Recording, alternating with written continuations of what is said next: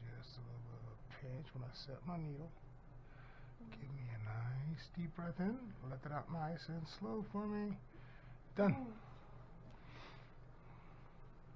Once again, long needles. Joy's in. We'll put the top on. This guy will be done. I think it's just the long needle part. Yeah, that long drag kind of sucks, but man, it makes my side of the job so much easier.